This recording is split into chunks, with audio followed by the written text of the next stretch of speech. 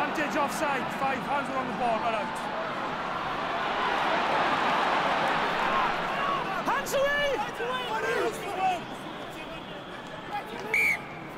No, no, they're over the line. They can hold on. Five from the side.